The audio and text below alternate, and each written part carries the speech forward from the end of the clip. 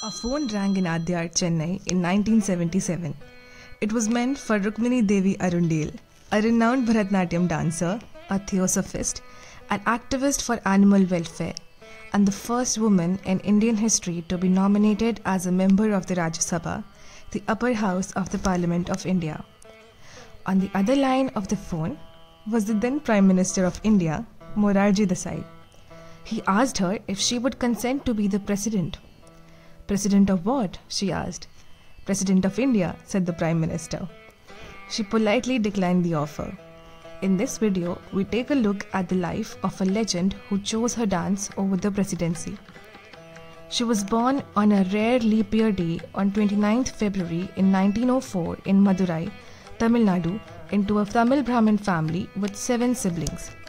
Her father, Neelkant Shastri, though an engineer by profession, was a Sanskrit scholar and historian who was also drawn to Buddhism and later to the social reforms of Annie Besant. Since her mother, Shishmal, was a music enthusiast, Rukmini Devi was exposed to dance, music, and culture within the precincts of her home. Neelkant Shastri was very closely associated with Theosophical Society based in Madras. Quite naturally, she was influenced by liberal humanistic ideas of society. She was always a wonderful singer. Even now, she's.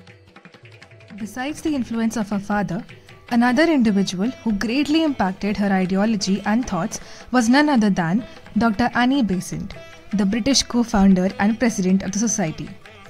Little did Rukmini Devi know that the Theosophical Society would eventually become the fundamental truth of her life. In 1920, aged 16, she stunned her family and society by tying the knot with 42 year old Dr. George Arundale, a British theosophist. She also ended up becoming the president of the All India Federation of Young Theosophists in 1923 and president of the World Federation of Theosophists in 1925 owing to her theosophical activities. Rukmini Devi happened to see one of the ballet of Anna Pavlova in London during the 1920s. Rukmini, who frequently traveled to Europe, saw Anna's famous ballet Dying Swan in 1925 and was moved by the performance. Dr. Arundale and Rukmini made it a point to attend Anna Pavlova's performances when she returned to India in 1928. Later, the couple was scheduled to depart from Mumbai for Australia, and to Rukmini's great surprise, she discovered that Anna was also in the same ship. The two artists talked for hours. The dancer saw a kindred spirit in Rukmini Devi, and their friendship grew. In Sydney, Anna advised Rukmini Devi to learn dance. Anna requested one of her leading solo dancers, Cleo Nordi, to teach Rukmini Devi the first lessons in ballet. But after some days, Anna felt that Rukmini, with her theosophical background, should take up Indian dancing instead. In 1933, at the Music Academy's annual conference, Rukmini Devi saw a performance of the Bharatnatyam dance form known as Sadir for the first time.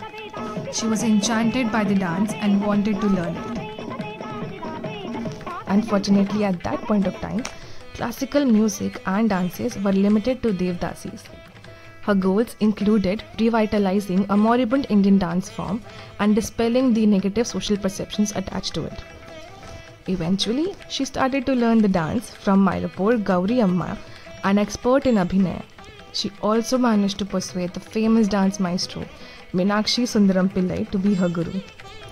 In December 1935, Rukmini Devi gave her first public performance at the Diamond Jubilee Convention of the Theosophical Society.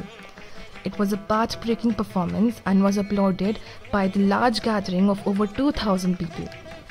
She soon introduced musical instruments like the violin, set, and lighting design elements, creative costumes, and jewelry inspired by temple sculptures, changing the fundamental nature of dance.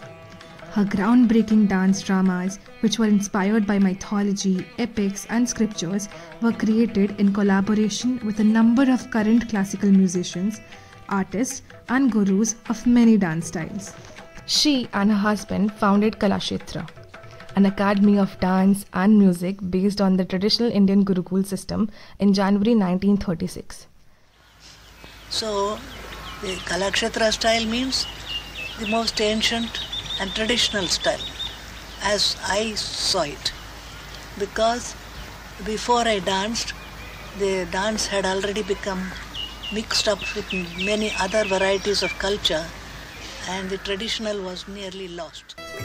The Indian Parliament designated the Kalakshetra Foundation as an institute of national importance under a law that was passed in January 1994. In April 1952 and again in 1956, Rukmini Devi received nominations to serve in the Council of States of the Indian Parliament. She was Rajya Sabha's first nomination for an Indian woman. She took a keen interest in animal welfare and was involved with several humanitarian organizations and as a Rajya Sabha's member contributed to the passage of the Prevention of Cruelty to Animals Act and the subsequent establishment of Animal Welfare Board of India which she presided over in 1962. Rukmini Devi Arundale, who devoted her entire life attempting to revive traditional Indian art forms, passed away on February 24, 1986 at the age of 82. Until her death, she remained a member of the board. She was honored with the Padma Bhushan in 1956. In 1987, India's Postal Department issued a 60 paise commemorative stamp in honor of the great dancer. Later, in 2009, it released a definitive stamp of rupees 5 in her memory. In 2016, Google honored Rukmini Devi on her 112th birthday with a doodle. Later in the month marking the 80th year of Kalakshetra Foundation, it held Remembering Rukmini Devi Festival of Music and Dance.